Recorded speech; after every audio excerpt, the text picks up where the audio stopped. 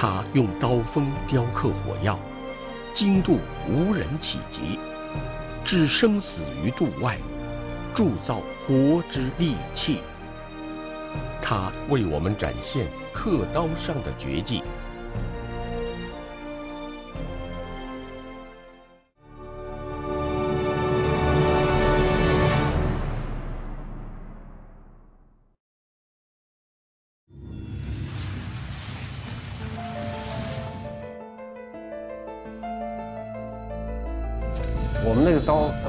非常非常的薄，锋利。我我一直说希望我们这岗位都失业，这样的话就可能就没有这么危险的这种操作。这是徐立平经常说的一句玩笑话。实际上，他的岗位是目前人类社会危险性最高的工作之一，而且仍无法完全以机械化操作取代。徐立平手中的这把刀是整形刀，然而其对象既非人脸，也不是工艺品，而是航天发动机里的固体燃料。究竟什么是固体燃料？它为什么需要整形？徐立平所说的操作危险，指的又是什么呢？固体燃料发动机是导弹装备的心脏，也是火箭飞船发射的关键部件。制造它需要上千道工序，而其中质量要求最高的工序之一是固体燃料，也就是火药的药面微整形。这项技术又被称为雕刻火药，目前在全世界都是一个难题，因为不同的发动机对火药燃面的形状和角度的要求也不同，要把凝固后的药面修得非常平整。误差值不超过零点五毫米，而用机器是无法控制一把刀去进行如此高精度的操作的。那么，人有没有可能完成呢？他面临的风险比机械化操作又高出多少？最关键的细节又是什么呢？一刀走下去，另外一刀过去的跟它一个衔接，就不能有刀痕。小小刀痕。却能带来灾难性的后果。由于火药材质的韧性很强，含有粗糙的颗粒，用刀的力度就难以把握。一刀切下去，结果是不可逆的，无法找补。切多了或者留下刀痕，造成药面精度数值与设计要求不符的话，在发动机点火以后，火药就不能按照预定的走向燃烧。发动机就很可能偏离轨道，甚至发生爆炸。他这个手，对吧？影下去可能就是零点几毫米，但是对我们的这个武器作战效果，或者我们发射卫星，可能影响的就就是几十公里。实际上，我们最害怕的就是刀痕、刀伤，这个东西，尤其这个东西最可怕，因为它燃的时候肯定从那地方就就把这个房子、这个这个臀肌就撕开了。而雕刻火药的危险还不止这些。这里是徐立平每天工作的车间，远离城市，人烟稀少。所有进门的工人首先要摸一下门口的金属杆，作业时还要在手腕和脚腕上连接好导电的金属线。这样做的目的是为了防止有静电和发动机的金属外壳产生摩擦。但最大的风险其实就在徐丽平自己手中。金属制成的刀具如果摩擦产生火花，后果将不堪设想。那么，如果它在整形在这个切削过程中呢，如果碰到了金属壳体，那么如果产生火星，肯定会引起燃烧爆炸，就是快到你根本就没法去反应，就是你跑都跑不及。如果使用金属刀具要冒如此大的风险，为什么不换成其他的材质呢？比如说是这种有色金属，虽然说它碰到这种钢壳体上它不会产生火花，但是它太软，它软了以后它修不出很锋利的刃来，这样的话整的时候非常的费力，这个费力就就会导致这种摩擦力过大，反而更危险。就连火箭发动机的总设计师也认为这是个世界性的难题。徐立平的工作内容危险度极高，但又是不可或缺的。这挖掘这工作，你你你讲讲有多危险？我我就形象的说，就是现在一个人在一个钢丝上跳舞，你稍不慎就你就从钢丝上就摔摔下万丈深渊。他呀是每天可以说的脑袋别在裤腰带上。尽管面对如此的危险，徐立平依然在追求对火药药面修整的最高精度。零点五毫米是固体燃料发动机药面允许的最大误差值，而徐立平雕刻的精度不超过零点二毫米，还没有两张 A 四纸厚，堪称完美。为什么我们要让修的越薄越好呢？就比如说我现在到这个尺寸了，比如说还差了那么零点六。那么如果说我现在这个整形一刀下去，我我要是一刀可能只能整一毫米，或者是零点七毫米，那我是不是就超差了？所以说整的越薄，说明你就是越导越越能保证这种尺寸的精确性。在摄制组的请求下，徐丽萍师傅挑战了一把自己切削火药的厚度极限。看着没，很均匀的，就是我这边放杯水。它都不应该抖的，然后整个铲过去，越长越好，啊。量一下。量一下。哇，就越薄越好，越匀越好。十五。徐师傅也就按了一下，说疼吗？问我疼吗？疼。然后他就把他的手举起来给我看了一下，他手上有几个茧子，然后尤其那个掌心那个茧子比较大，给我指了一下，看。以后有这个就不会疼。还有一个非常笨的办法，就是我留一点余量把它刮出来。这是一个这是一个非常笨的办法。这种办法呢，它一个是它的这个效率非常非常低，另外呢，你这个这个刮出来这个这种，我们叫不显示水平。没这个金刚钻不揽这瓷器活，就他这个精湛的技术给给就给我留下印象。徐立平在技术上的这种信心。源自他对祖国航天事业的高度责任感和自己所付出的艰苦努力。徐立平出身于一个航天家庭。上世纪六十年代，为响应国家三线建设的号召，徐立平的母亲和同事们一起来到了秦岭大山深处，从无到有，这里。见证了中国航天火箭固体燃料发动机的诞生。徐立平的母亲就是生产基地整形车间最早的一批员工。我刚上班没多久就出一次事故哈，一开始年轻抓了他以为是手套，结果是整个手指都烧掉了，耳朵烧在了，面目全非的时候，那个时候我们都年轻啊，刚上班嘛，都十九岁、十九岁那会儿。这些年轻人全都是啊，都愿意到最危险的岗位上去。我想，他的年轻人肯定也是这样的。一九八七年，同样十九岁的徐立平从航天技工学校毕业，他选择了母亲工作的单位。虽然心里已经做好准备，但是进场的第一刻还是让徐立平大吃一惊。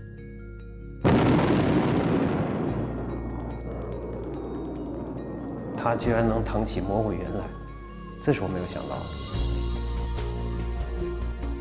这次近距离观看发动机点火，是徐丽萍的师傅有意安排的。他要让这个新入场的毛头小伙子，把对危险的敬畏深深地刻到骨子里。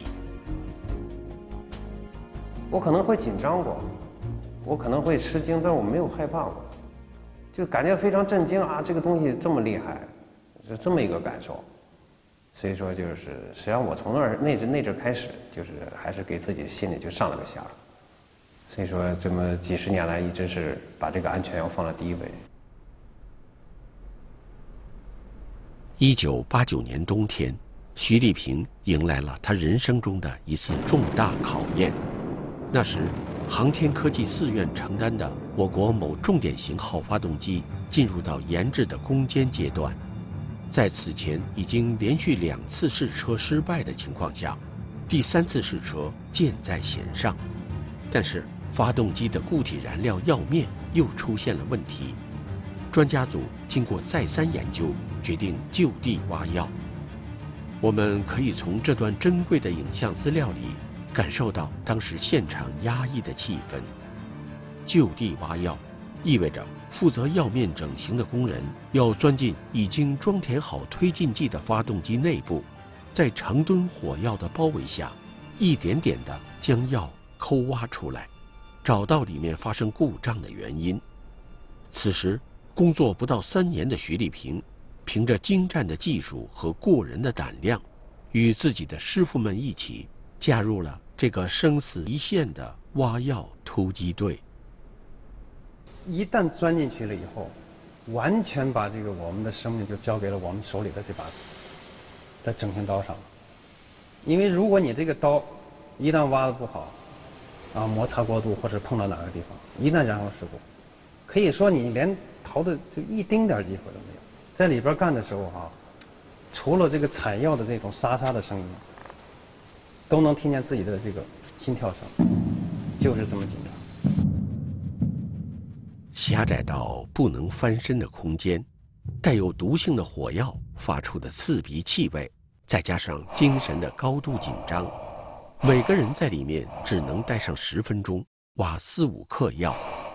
而徐丽萍为了能让大家多歇一会儿，每次总要多干上五六分钟才出来。由于当时的刮药进度缓慢，徐丽萍和其他突击队员一干就是三个月。很多人都出现了呕吐、头疼等症状。终于，病灶找到了，故障被成功排除。这场攻坚战。保证了国家重点战略型号的研制计划顺利推进，但是在任务结束后，徐丽萍的身体却出了问题，她的双腿几乎无法走路了。徐丽萍的母亲深知这份工作的危险，看到。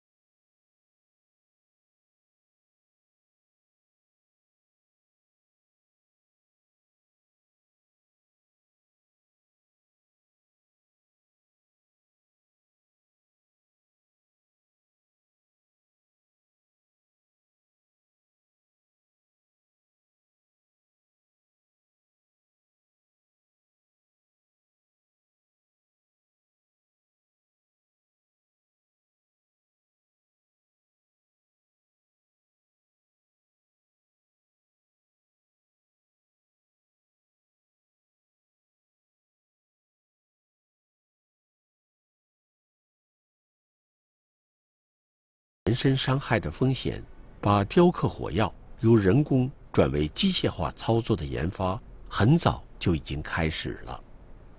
输入相关数值，用机器来控制整形刀，人在一定距离以外操作。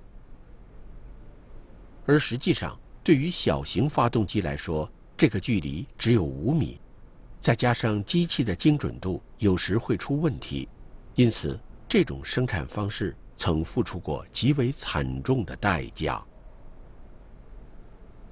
二零零一年，厂里发生了一次意外事故，与徐立平要好的一位工友不幸牺牲，留下了妻子和孩子。这件事。给了徐立平极大的触动。当时一听说了以后，哎呀，当时这个大家就都都往那个门诊部跑去看这个，因为那个跟我关系比较好。反正我看到这个周围很多的，就是尤其他们那个车间的同志，很多都在外外边这个议论，也是确实也担心，就是看这个这这怎么样，严重不严重？嗯，确实是。其实我不太想谈这事情。为什么说我们在研究这种数控加工的时候，一定要距壳体要留五毫米的余量，就在于这点。因为它它这个一旦采用这种自动走道的话，你你如果不留余量，它很有可能就会这个这个这个这个有可能就会碰到壳体，这是很很容易碰，一碰肯定出问题。对我还是敲了一个警钟，就是说。真的，真的不要不要以为这个，你曾经可能碰到壳体，啊，你曾经某一个动作，哎，侥幸没有发生事故，你就觉得这个东西是个安全的，千万不敢有侥幸心理。就是就是给我的警醒是，实际上我当时下了个决心，我对这个班组，因为我当时是组长，我这这个班组在安全方面我一定要严格管理。这次事故。让徐立平意识到，现阶段还是要靠人的技术和经验，来把控火药整形的精确度。但是，为了进一步降低风险，他有了一个大胆的想法。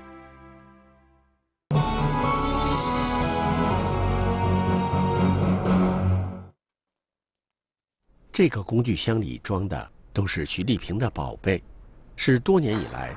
他和工友们针对不同类型发动机的固体燃料药面所研制的便捷性和安全性更高的刀具，用徐立平的话说，这可都是市面上花钱也买不到的好东西。其中一把刀还被厂里命名为“立平刀”。那么这个旋转的这个刀刃旋转的范围是一定的。嗯。先放这样。安全。对，就是为了，主要就是为了安全。三十多种刀具里有七种为国家专利，徐丽萍领导的班组也获得“刀锋精神”的赞誉，并保持着百分之百的产品合格率。他们喜欢迎接挑战，尤其是当拿到新的发动机产品要修整的要面出现新形态的时候，这兴趣就出来了。然后就组里大家就一块集思广益，怎么就怎么做刀。就是一有这种比较特殊的工作，或者一有新的这种工作，哎，我们首先想的就是怎么先做一把合适的刀。每天要拿刀和人家干一下，感觉一不小心没干过，一不小心出点岔子，就感觉就要挂了，那种像打游戏一样。这群年轻人都是徐立平的弟子或再传弟子。从二零一五年有主流媒体关注开始。徐立平已经接受过几十次采访，徒弟们也大都跟着出镜，他们心中非常崇拜徐师傅这位武林高手。然而，大伙儿越是兴奋，徐丽萍心里的忧虑就越重。因为一旦分心的话，心里老有事儿的话，这个干活是真的是很危险的。所以说，后边还得。还是要尽快的要把这个整个这种环境平复下来，还是恢复到我们过去的这种工作节奏。在这次拍摄过程中，徐师傅不止一次向我们谈起他的这个顾虑，而面对自己获得的诸多荣誉，他更是倍感压力。我的性格属于不不喜欢被人关注的一个人，我也没想到我会一下子会把我一下推到这么一个这么高的一个一个一个就是荣誉上。呃，我一直在接受采访，我一直在说，实际上我们所干的这个工作，它整体都是危险的，可能我们是一个比较危险的一其中的一个吧。然后我周围确实有很多，就是在这种这种危险岗位上，就是一直默默无闻坚守到退休的很多同志，我的师傅级的这些同志，他们都是这么干下去的。那么实际上我一直在说，我代表的是他们，不是我个人的一个荣誉。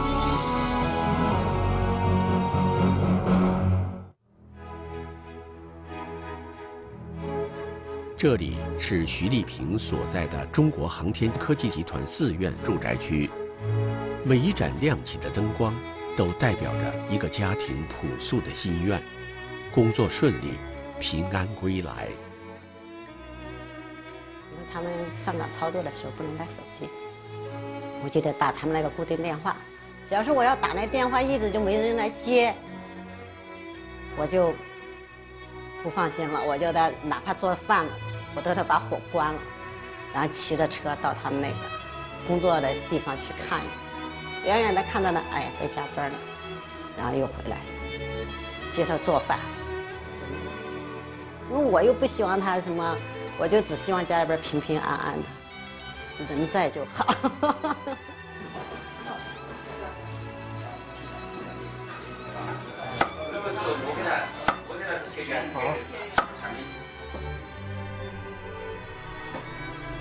我以为大家都会那么切，比如切土豆丝儿啊。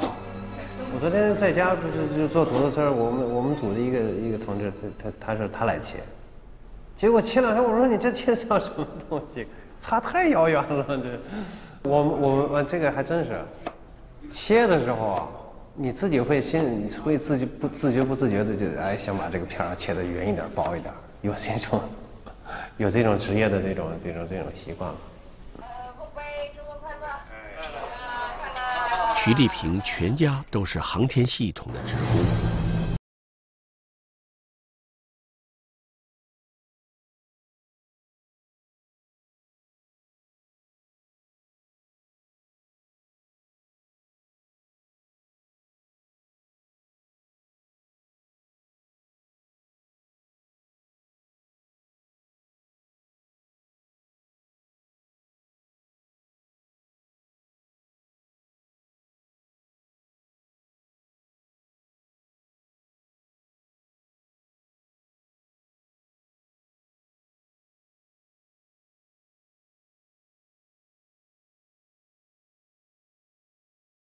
充满了可以说无比的自豪感。徐立平身上有着诸多的荣誉，包括中华技能大奖、全国五一劳动奖章，以及中宣部授予的时代楷模称号等等。徐立平认为，劳模精神的意义在于坚守平凡的岗位，做出无私的奉献。他的身边就有很多默默付出、兢兢业业的同事，他们都是中国航天事业不可或缺的零部件。这首儿童歌曲从上世纪五十年代起开始流行全国，它为几代中国人从小就树立起劳动最光荣的榜样。而在中国广袤的大地上，每天都有更多徐丽萍的故事在发生，她将不断激励着勤劳勇敢的中华民族，迈向更加美好的未来。